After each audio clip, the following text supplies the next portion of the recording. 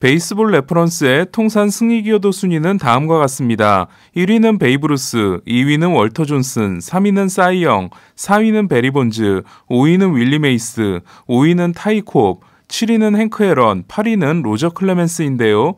베이브 루스, 월터 존슨, 타이 콥은 1936년 최초로 입성한 First 5이고 1936년 투표가 그때까지 뛴 모든 은퇴 선수, 심지어 현역 선수까지 대상으로 했기 때문에 경쟁률이 너무 치열했고 이에 두 번째 투표로 들어간 사이영 94.7%를 받고 첫 해 입성한 윌리 메이스 97.8%를 받고 입성한 행크 애런과 달리 역대 4위 선수와 8위 선수가 명예의 전당에 오르지 못하게 됐습니다.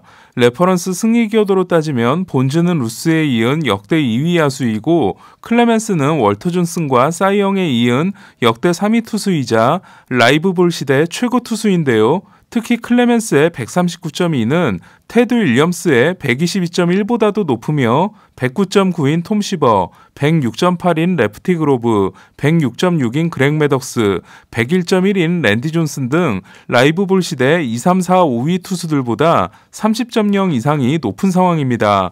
그리고 본즈는 통산 7개 리그 MVP로 10명인 공동 2위 선수들보다 무려 4개가 더 많은 선수입니다. 이들이 2013년 첫 투표에서 30대 후반을 기록할 때까지 만 해도 저는 shy 본즈, shy 클레멘스 표가 숨어 있고 마지막 투표에서 들여보내는 것으로 페널티를 주려는 게 아닐까라는 의심을 했는데요.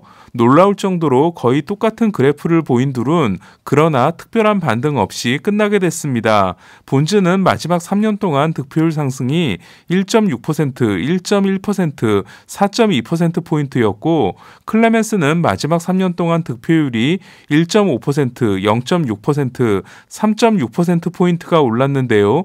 그래도 자강두천이라고 본즈가 60.0%를 기록함으로써 65.2%를 기록한 클레멘스를 이겼습니다. 10번의 기자투표를 통과하지 못한 이들의 운명은 이제 베테랑 위원회의 손으로 넘어갔는데요.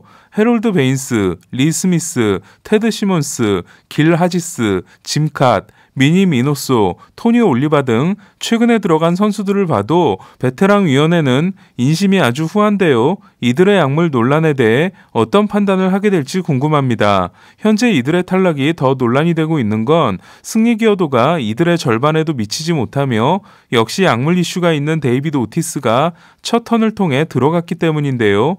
약물 이전 커리어만 인정한다고 하면 본즈는 1998년까지 승리 기여도 99.9, 클레멘스는 1997년까지 92.7을 기록함으로써 55.3인 오티스의 전체 커리어보다 도 월등히 앞서게 됩니다.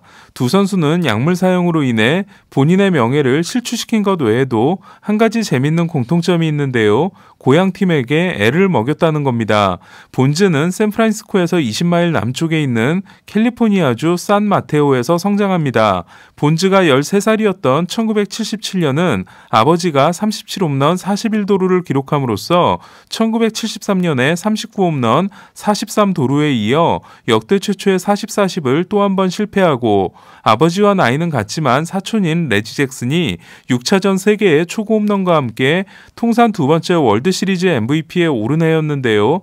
대부인 윌리 메이스까지 포함해 야구 역사상 가장 뼈대 깊은 가문이자 최고의 정통성을 자랑한 본즈가 1982년 드래프트에 나오자 당연히 샌프란시스코는 고교 졸업반인 본즈를 2라운드에서 지명하게 됩니다. 그리고 보너스 7만 달러를 제시합니다. 그해 뉴욕 메츠에 5순위 지명을 받은 드와이트 구든이 8만 5천 달러였을 정도로 7만 달러는 정말 좋은 제안이었는데요. 하지만 7만 5천 달러를 요구한 본즈는 자신의 기준에서 5천 달러가 모자라다는 이유로 샌프란시스코 입단을 거절하고 대학에 진학하게 됩니다. 제가 역대 최고의 드래프트라 말씀드렸던 1985년 드래프트는 로스앤젤리스 올림픽에 참가한 대학 선수들이 총 출동한 드래프트였는데요. 동료들의 반대로 대표팀에 들어가지 못했던 본즈도 1985년 드래프트에 나오게 됩니다. 하지만 샌프란시스코는 이미 트러블 메이커로 소문난 본즈 대신 인성왕 윌 클락을 전체 2순위로 뽑았고 본즈는 6순위 피츠버그가 데려갑니다. 결국 샌프란시스코는 5천 달러를 아끼려다 당시로서는 역대 최대 규모인 6년 4,375만 달러 계약을 주고 FA가 된 본즈를 데려오게 됩니다.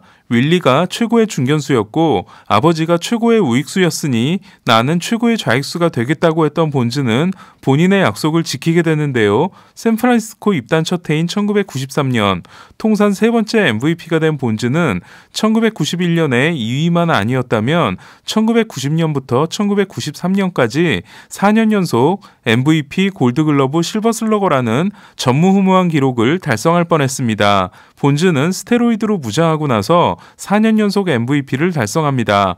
1998년 33살의 본즈는 8번째 골드글러브를 따냅니다. 좌익수, 중견수, 우익수에게 하나씩 주는 지금과 달리 당신은 외야수 골드글러브를 포지션 구분 없이 줬기 때문에 좌익수가 따내기는 훨씬 어려운 환경이었습니다. 고의사구 1위를 7년 연속으로 한 본즈는 그 시점에서 이미 공포의 타자였는데요. 애리조나 벅쇼홀터 감독이 두 점을 앞서 있던 9회 말 2사 만루에서 등장한 본즈를 고의사구로 걸러보낸 것도 1998년이었습니다. 기록 저지를 위해서가 아니라 승리를 위해 만루에서 고의사구를 내준 건 메이저리그 역사상 처음 있었던 일로 2008년 템파베이 조 매든 감독이 텍사스 조시 해밀턴에게 내주게 됩니다. 밀어내기 고의사구 석달 후 본즈는 또 하나 최초의 기록을 만들어냅니다. 그 누구도 달성하지 못했으며 앞으로도 나오지 못할 것으로 보이는 400홈런 400도루를 달성한 거였습니다. 하지만 그날 본즈는 53호를 날린 맥과이어와 51호를 날린 소사에 밀려 스포트라이트를 독점하지 못하게 됩니다. 결국 1998년은 본즈가 400, 400을 한 해가 아니라 맥과이어가 70개를 날려 로저 매리스의 61개 기록을 깨고 소사가 페이스메이커로서 66개를 기록한 해가 됩니다. 본즈는 그렉 본, 새미 소사, 모이세스 알루에 밀려 실버 슬러거도 수상하지 못했고 그해 승리기여도 1위 야수였음에도 MVP 투표에서 충격적인 8위를 합니다. 제가 본즈였고 약에 손을 대지 않은 상태였다면 두 약쟁이의 영웅 등극에 분노 할 수밖에 없었을 것 같은데요. 평소 철저한 식단 관리와 함께 하루 7끼의 식사와 영양제로 체력 관리를 하는 걸로 알려졌던 본즈가 이들에 대한 질투 때문에 약에 손을 댔다는 게 유력한 시나리오입니다. 하지만 이것이 본즈에게 면죄부가 될 수는 절대 없을 겁니다. 그리고 전 여자친구의 증언을 제외하면 1999년을 약물 복용 시점이라고 할 만한 확실한 증거도 없는 상황입니다. 고등학교부터인 걸로 의심받고 있는 에이로드가 텍사스에서의 중압감을 핑계로 사용 시기를 단축시켰다가 거짓말임이 탄로난 일이 있기 때문입니다. 클레멘스의 약물 사용 시기는 본즈보다는 명확하다고 할 수 있는데요. 클레멘스에게 약물을 공급한 개인 트레이너 브라이언 맥나미가 스테로이드를 구해달라는 요청을 받은 시점이 1998년 5월이었기 때문입니다. 맥나미는 클레멘스가 요구할 때마다 클레멘스의 숙소를 방문해 주사를 놔줬고 효과가 짱이라는 말까지 들었다고 하는데요. 약을 끊고 성적이 나빠지자 다시 약을 사용하는 등 자신이 양키스에 있었던 2001년까지는 클레멘스가 지속적으로 약을 사용했다는 게 맥나미의 증언인 반면 클레멘스는 맥나미가 강압적인 수사 때문에 거짓말을 한 거라는 주장을 하게 됩니다. 1991년 세 번째 사이영상 수상 후 하향세에 있던 클레멘스는 1996년 33세 시즌을 마치고 FA가 됩니다.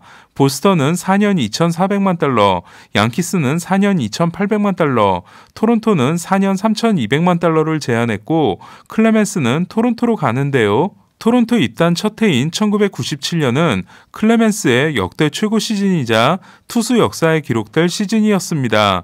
이에 약물 사용 시점이 1997년이 아니라 1998년이라는 점은 이상하게 느껴질 수 있는 부분입니다. 어쨌든 1998년 중반이 맞다고 한다면 클레멘스는 약을 시작함과 동시에 고향팀인 휴스턴으로 보내달라고 합니다. 하지만 휴스턴은 클레멘스 대신 시애틀에서 랜디 존슨을 데려갔고 휴스턴이 계약 연장 요구를 거절한 클레멘스를 결국 양키스가 데려가게 됩니다. 그리고 클레멘스는 앤디 페팃과 절친이 됩니다.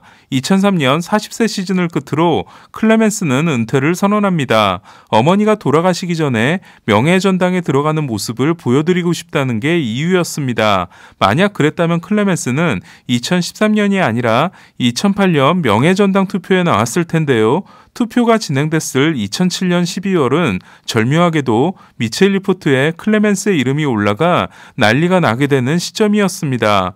휴스턴에서 함께 뛰자는 패틱과 가족들의 요청을 받아들여 클레멘스는 은퇴를 번복합니다.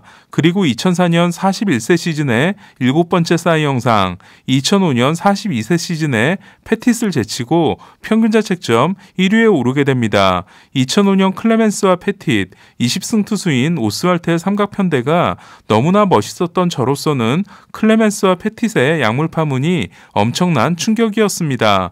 그리고 클레멘스의 고향 복귀는 없느니만 못한 셈이 됐습니다.